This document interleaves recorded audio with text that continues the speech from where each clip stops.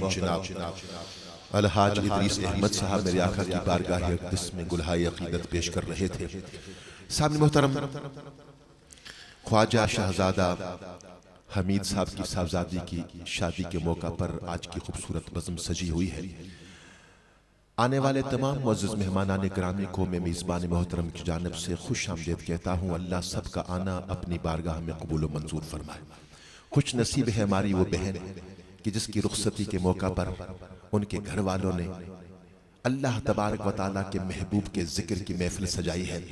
خوشی کا موقع ہو تو میرے نبی کا ذکر شکر ہے اور غم کا موقع ہو تو میرے نبی کا ذکر ذکر مرہم ہے اور ان کے صاحبزادے جوان سال شاہ زید جو اس دنیا سے چلے گئے، یہی دعا ہے کہ اللہ تعالیٰ اپنے محبوب کے صدقے میں ان کو جوار رحمت میں جگہ عطا فرمائے، جو اس خوشی کے موقع پر ہمارے درمیان موجود نہیں ہے سامنے محترم،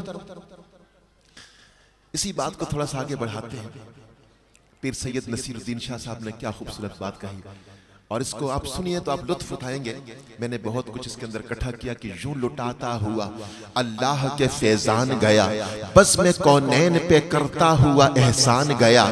جولیاں برتا ہوا سب کی بئی شان گیا۔ نعمتیں بانٹتا جس سمت وہ زیشان گیا۔ ساتھ ہی منشی رحمت کا کلم دان گیا۔ یہ وہ سچ ہے کہ جسے ایک جہاں مان گیا۔ در پہ آیا جو گدا بن کے وہ سلطان گیا۔ اس کے انداز نوادش پہ میں قربان قربان گیا، نعمتیں بانٹتا جس سمت وہ زیشان گیا ساتھ ہی منشی رحمت کا کلم دان گیا، تھا جو عنوان محبت کا وہ عنوان گیا، تیرے غرفان کے صدقے میرا غرفان گیا لے خبر کعبہ ایمان میرا ایمان گیا، جس طرف سے وہ گلے گلشن ادنان گیا ساتھ ہی کافلہ سنبل و ریحان گیا، اس بلندی پہ نہ ہرگز کبھی انسان گیا، عرش پہ بن کے وہ اللہ کا مہمان گیا لیکن جنت کی طرف جب مجھے رضوان زبان گیا، شور اٹھا وہ گدائے شہدی شان گیا۔ تجھ سے جو پھیر کے منہ جانب قرآن گیا، سرخرو ہو کے نہ دنیا سے وہ انسان گیا۔ کتنے گستاخ بنے، کتنوں کا ایمان گیا۔ لے خبر جلد کے غیروں کی طرف دہان گیا۔ میرے مولا، میرے آقا، تیرے قربان گیا۔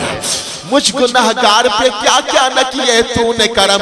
میرے آقا تیری رحمت کے میں قربان گیا۔ نہ خدائی اسے کہیے کہ خدائی کہیے۔ میری کشتی کو ابارے ہوئے توفان گیا۔ فخر دولت بھی غلط، ناز نصب بھی باطل۔ ہے یہ کافی جو میں دنیا سے مسلمان گیا۔ مجھ گناہگار پہ اتمام کرم ایسا تھا۔ حشر میں دور سے رضوا مجھے پہچان گیا۔ جب قدم دائرہ عشق نبی سے نکلا، بات ایمان کی اتنی ہے کہ ایمان گیا، دادر خلد رہی چہرہ انور پہ نظر، سب نے دیکھا کہ میں پڑھتا ہوا قرآن گیا۔ میرے آمال تو بخشش کے نہ تھے پھر بھی نصیر۔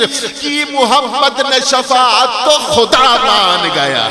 چادر خلد رہی، چہرہ انور پہ نظر، سب نے دیکھا کہ میں پڑھتا ہوا قرآن گیا۔ میرے آمال تو بخشش کے نہ تھے، پھر بھی نصیر۔